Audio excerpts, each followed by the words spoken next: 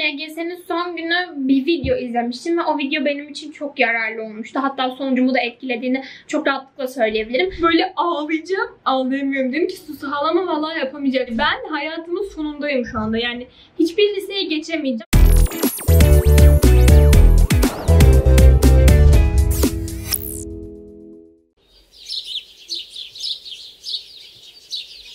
Bugün güzel olacak. Günaydın.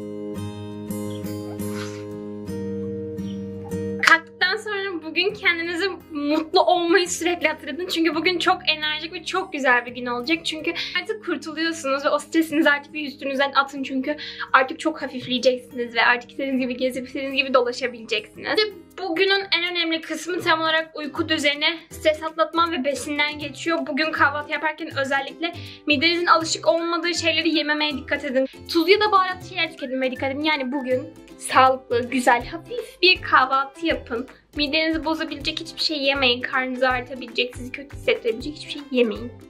Yumurta, peynir ve süt.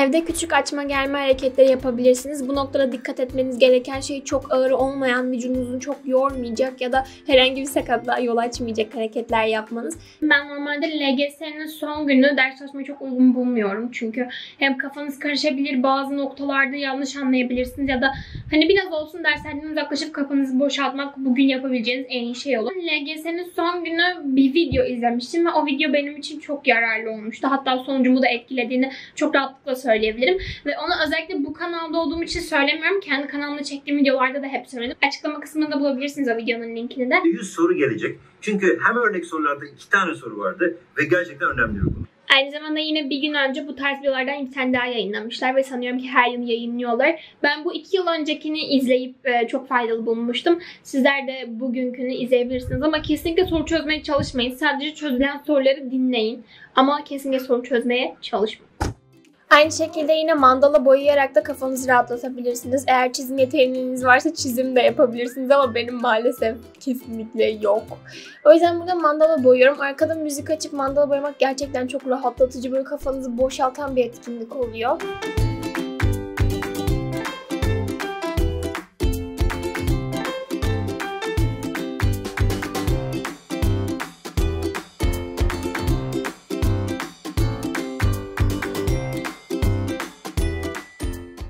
Bugün bizim streslerden arınma günümüz. Size böyle birazcık LGS anımı anlatmak istiyorum ki böyle biraz daha kafanızı alsın. Bir de ben nasıl geçirdim mutlaka Bilmiyorum merak ediyor musunuz tabii de yani ben anlatacağım. Zaten sınav günün öncesinde ben ne yaptığımı hatırlamıyorum bile. Bütün gün böyle test falan yırtmıştım. Onu hatırlıyorum çünkü o beni çok rahatlatmıştı. Sonrasında işte o gün yattım. Sabah kalktım ve hani böyle bir sınava giriyorum heyecandan ziyade. Artık olsun bitsin hani üstümden bir yük kalksın o havadaydım böyle sürekli. Yani sınav için heyecanlanmıyordum.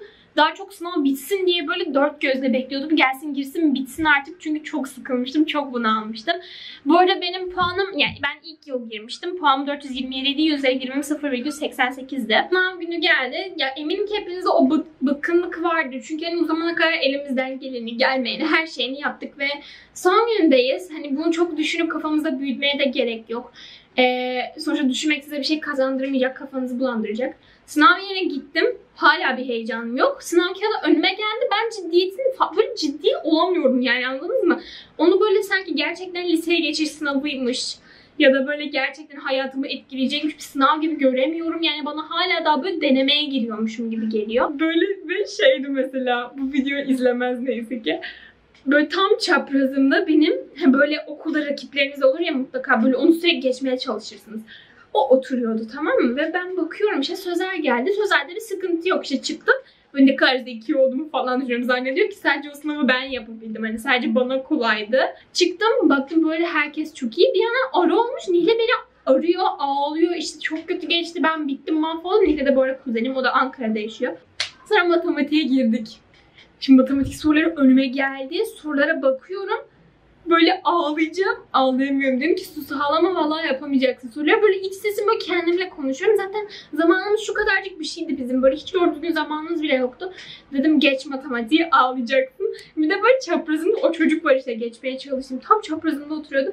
Bakıyorum ki o böyle böyle böyle çözüyor diyorum. Aha ben bittim yani. Ben hayatımın sonundayım şu anda. Yani hiçbir liseye geçemeyeceğim. Meğersem o da yapamıyormuş ama yani ondan sonra rahatladım. Sonra biz çıktık işte sınavdan. O ertesi güne benim mezuniyetim vardı. Mezuniyet için kıyafet bakmaya falan gittik annemle.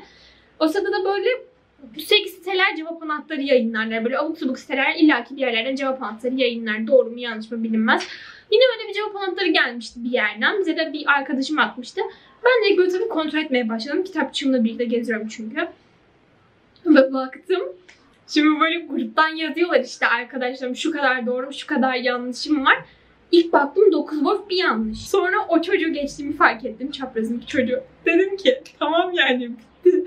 O aralar ortaokuldayken ben birilerini geçmeye kafayı çok takmıştım. Bu hiç iyi bir şey değil. Yani rakiplerinize kendinizi kıyaslamayı mutlaka bırakmalısınız. Yani o cevap anahtarından kontrol ettiklerinizde moralinizi yükseltip ya da düş- yükseltin ama düşürmeyin. Çünkü e, yüzdelik diliminiz hani sizin sandığınız kadar kötü gelmeyebiliyor. Mesela bizim dönemimizde bunu tahmin etmek çok daha zordu. Çünkü full çeken diye bir şey yoktu zaten ortalıkta. Ertesi günde mezuniyete ne ağlamıştım yani LGS ağ LGS'de ağlamadığımı mezuniyetimde ağlamıştım. Stres yapmayın çünkü geçiyor bitiyor ve hani o anı ne kadar stressiz, ne kadar mutlu, ne kadar böyle artık bitiyor, kurtuluyorum şeklinde yaşarsanız o kadar hem psikolojiniz iyi olduğu için sınavınız da iyi geçiyor. Hem de gerçekten artık böyle kurtuluyorsunuz, hafifliyorsunuz. Yani çok azıcık sabredin. Gerçekten bitiyor ve liseye geçtiğinizde gerçekten hatırlamıyorsunuz. Eğer çok stresliyseniz ve heyecanınızı yenemeyeceğinizi düşünüyorsanız bir kağıt alıp bütün hissettiklerinizi içine dökebilirsiniz. Ee, baktığınızda böyle çok etkili gibi durmayabilir ama gerçekten çok yardımcı oluyor. Ne hissediyorsanız, ne kaygısı taşıyorsanız her şeyi o kağıda yazın ve o kağıdı daha sonra katlayıp bir yere kaldırın. Ertesi gün belki liseye geçtiğinizde ne zaman isterseniz o kağıdı okuyacaksınız ve eminim ki her okuduğunuzda çok daha rahatlayıp ben eskiden bunları mı düşünüyormuşum diyeceksiniz. Tüm bunları yapıp rahatladıktan sonra sıcak bir duş alın. Kitabınızı güzelce okuyun. Ve daha sonrasında da erken yatın ki sabaha çok daha enerjik, çok daha dinç olarak kalkın ve artık elinizden gelen ne varsa yapın. Son kez sizlere merhaba diyorum. Umarım bu videoyu beğenmişsinizdir. Bu videoda sizlere LGS'nin son günü yapabileceklerinizi rahatlamanız için motivasyon konuşmalarımı verdim. Umarım işinize yarar. Tekrardan sizlerle görüşene dek kendinize iyi bakın. Okur kalın. Hoşçakalın.